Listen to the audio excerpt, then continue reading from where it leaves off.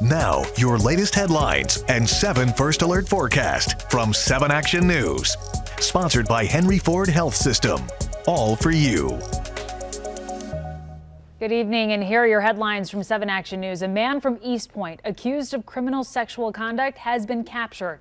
Police say it all started when a group of kids began stopping by Daniel LaFave's house on Rain Street on their way home. The kids thought of him as a friend until he allegedly started inappropriately touching them.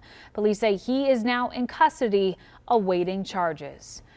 Meanwhile, Detroit police say they need your help finding two people who suffer from dementia. Richard Perkins, pictured here, was last seen on Friday morning at his home on Webb near Tuxedo and Linwood. The 70 year old is in good physical health but suffers from dementia. He was last seen wearing a black skull cap, blue coat, and gray sweatpants. Police also need your help finding 56 year old Cheryl Harris. She was last seen on Thursday at her home on Clover Lawn right near Tireman. Harris suffers from dementia. She has long brown and black braids. If you've seen either Richard or Cheryl, you are urged to contact Detroit Police. Meanwhile, let's take a look at our forecast because, uh, Mike, we do have some snow on the way.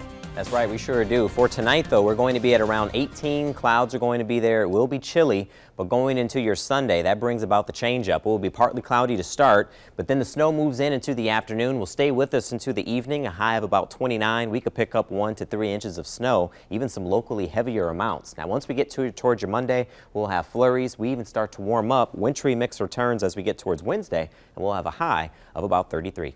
Amira? All right, Mike, thank you. And just one more household note here. All Secretary of State branches are closed through Monday. It is because of the computer system undergoing a major upgrade. All branches are closed and online services are down. Offices are set to reopen on Tuesday morning at 9 a.m. Those are your headlines. Have a great night. These have been your latest headlines and seven First Alert forecast from 7 Action News sponsored by Henry Ford Health System. All for you.